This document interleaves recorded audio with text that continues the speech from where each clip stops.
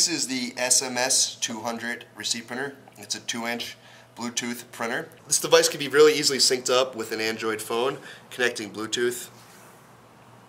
The application, you can see the connectivity from the phone to the printer is relatively quick, so there's no delay, there's no waiting. This is really the perfect type of application for people that are in tableside ordering or line busting or field service. So for a line busting application, maybe it's a busy retail store or it's a, a busy restaurant and the server, waiter, or counter person can come over to a long line and say, hey, let's take your order right here, we're going to punch it in the tablet, print you the receipt, go wait, and you come back up.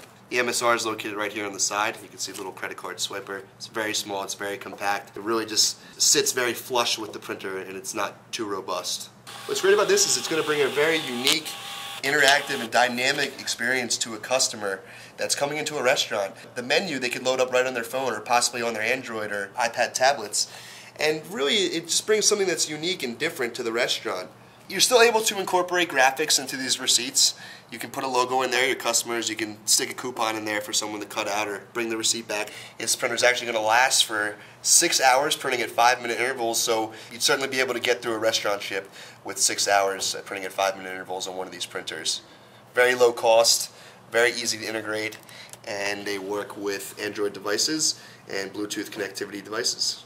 And for any more information regarding Star Micronics products, you can visit RacoIndustries.com or simply give them a call.